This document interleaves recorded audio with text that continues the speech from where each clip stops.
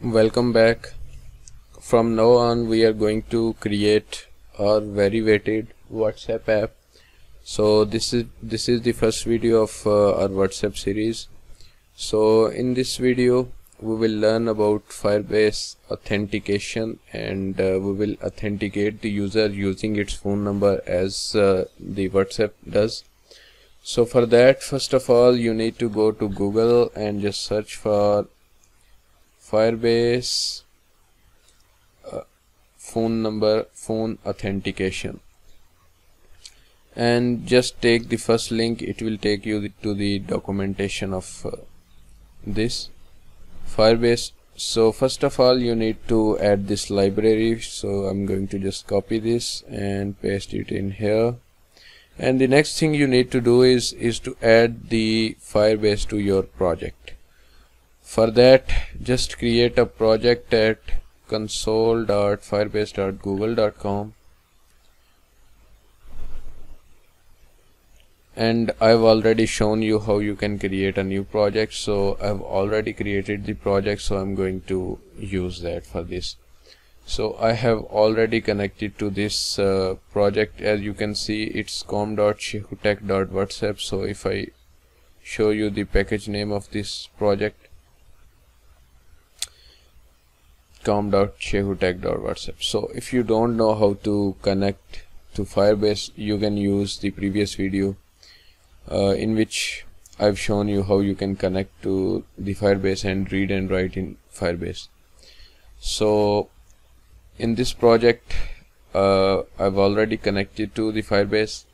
So now we need to add another library called Firebase Core.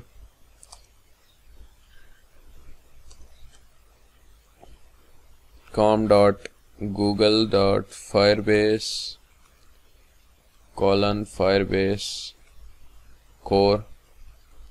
And its version is going to be let's say 16.2.1 the same one that we have uh, in our firebase auth.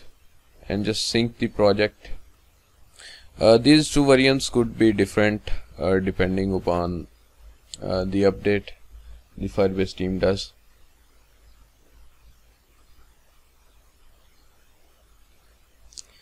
Gradle sync is running and it will download and add these libraries to our project.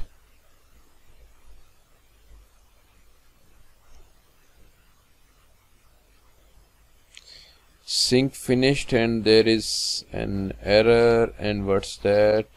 That 16.2.1 doesn't exist. Uh, let me check this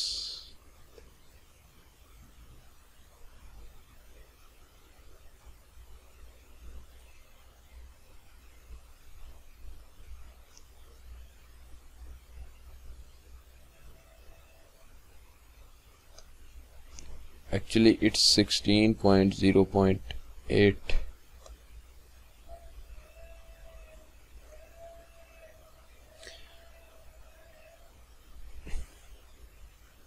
it's 16.0.8 so I'm going to copy this one and just paste it in. And you already know how to add this uh, to your project firebase to your project. This is actually uh, for adding firebase to my project uh, this has nothing to do with authentication. You need to only add this library for authentication firebase auth. Alright so this is going to be synced.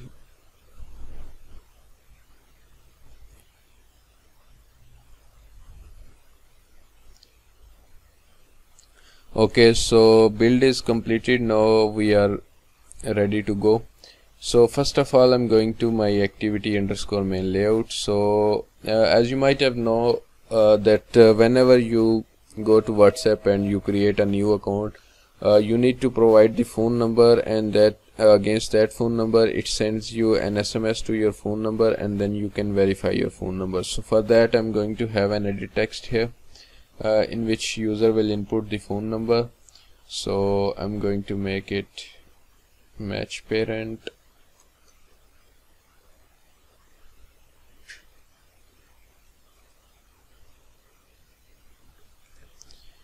alright so let me just go to design and what's there? Okay so here is edit text.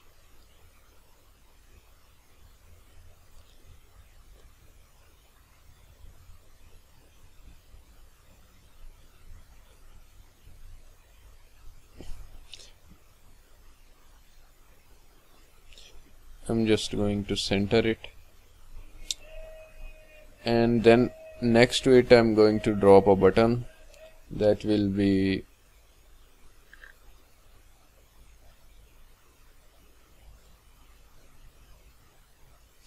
so I'm going to just name it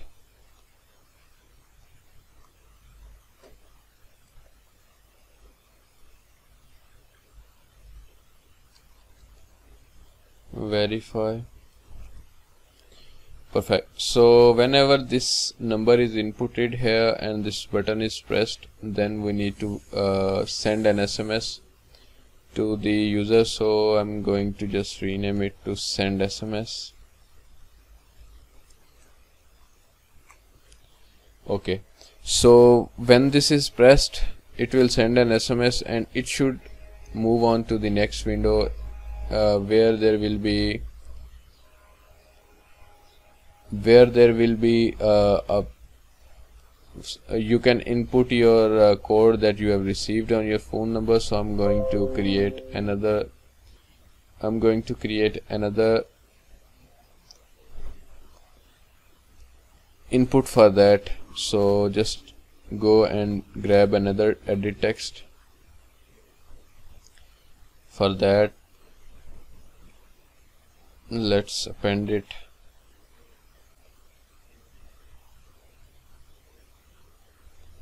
in between these two. And I'm going to add another button uh, that will be to uh, that will validate that particular code entered by the user.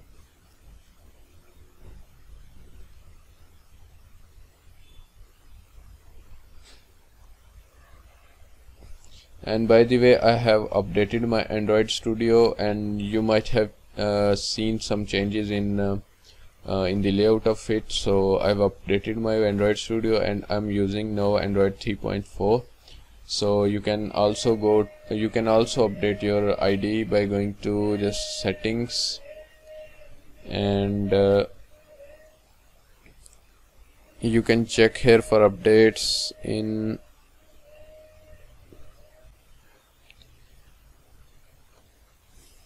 just search for updates. Just search for updates and you can hit from here check now to check for auto uh, updates. And if you have selected automatically check for updates then it will notify you when uh, there is an update available. And uh, you can see that here current version I'm using Android 3.4 so so now I have created a button and I'm going to change its text to verify. And let's make its width to, to match constraint. Alright so this is let me give a hint here. Hint and hint is going to be code. Verification code and just going to center it gravity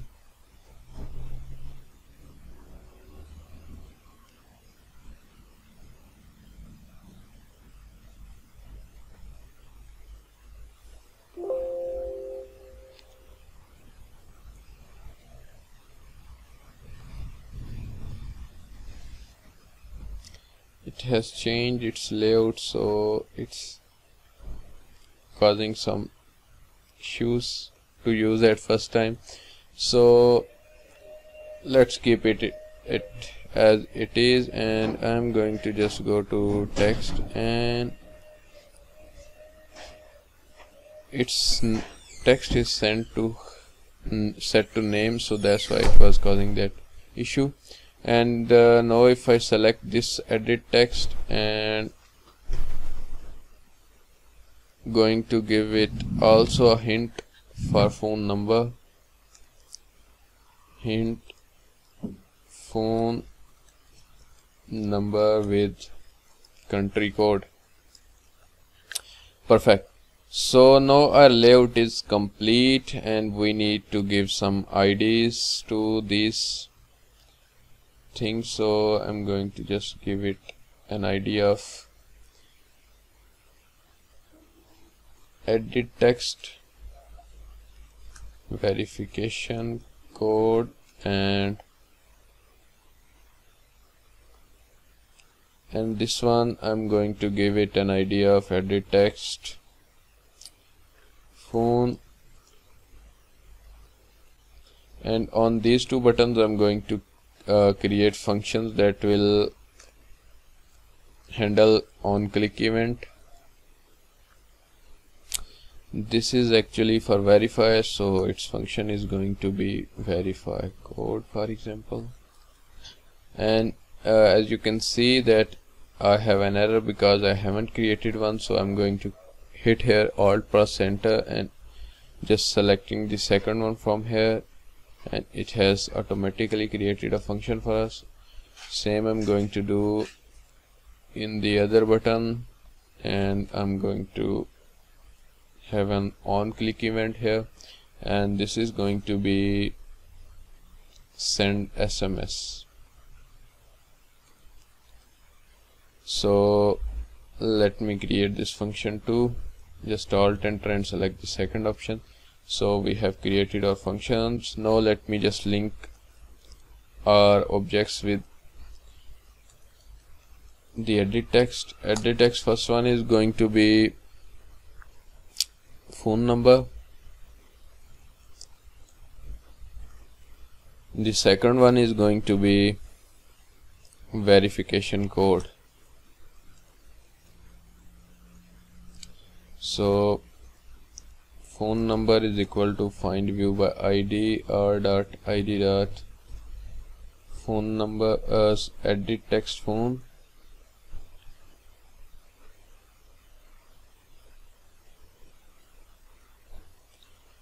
Verification code is equal to find view by id r dot id dot. Verify. Verification code so here we go so we have successfully set up this one. So now we need to do is whenever he presses the send sms button we need to grab uh, what he has entered in the phone number field. So for that i'm going to make another variable slash string phone is equal to phone number dot get text dot to string. And the other thing I'm going to do is I'm going to hide these two views. Uh, first of all these should not be visible and whenever the send button is pressed then these two views should be visible and these two uh, should be invisible. So for that I'm going to go to select this one and you need to search for an attribute called visibility. Here is that one so you can select from here. Now you can you have to select it visibility gone same you can do with your button visibility gone. But for this I have to give an ID to button to make it again visible so I'm going to give uh, it an ID for example btn btn verify. And this one I'm going to give an ID btn send SMS perfect. So here I can do is I can just create two buttons.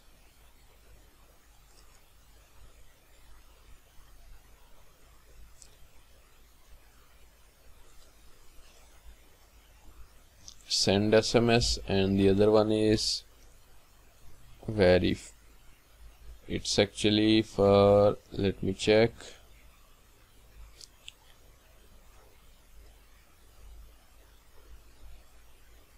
verify so it's btn verify. So what I need to do is I need to connect them send SMS is equal to find view by id r dot id dot btn send SMS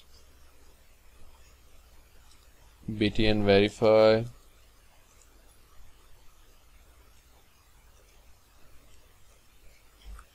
perfect. So I'm going to make them invisible at first. So I have done this here. So now whenever this send button is pressed we need to make them again visible. For that I'm going to do is send SMS dot set visibility. And you need to select here visible. Just uh, type in caps visible and you will see the uh, recommendation and you need to select the first one here. View dot visible it's actually so and we need to make the verification code also visible.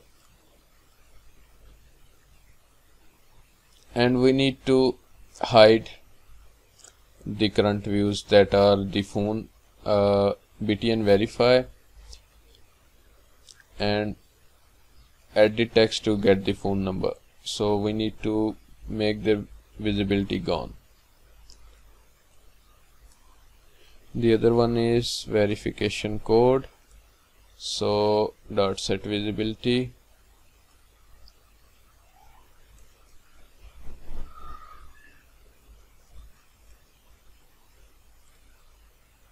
Perfect. So that's it for this video. In the next videos we will learn how to further uh, authenticate. We haven't completed the authentication process yet. So see you in the next video